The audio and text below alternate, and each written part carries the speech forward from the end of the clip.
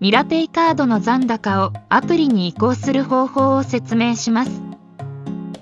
まずはじめに、ミラペイアプリの登録がお済みでない方は、アプリの登録が必要です。また、カードからアプリへ残高を移行すると、お持ちのカードは利用できなくなります。まずは、QR の読み取りです。カードの裏面左下にある残高紹介用 QR を読み取ります。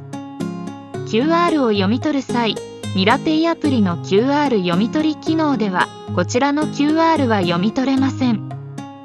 スマートフォンのカメラまたは QR 読み取りアプリで読み取ってください。表示された URL を押します。続いて会員コードの入力です。カードに記載の数字6桁の会員コードを入力します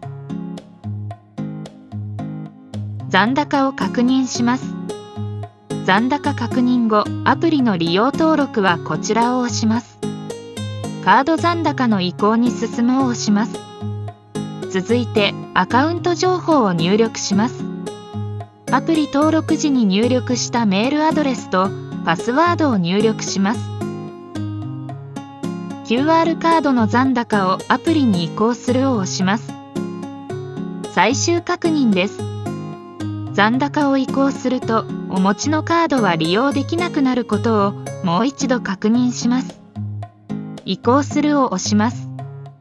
これでミラペイカード残高のアプリへの移行は完了です。ミラペイアプリをご活用ください。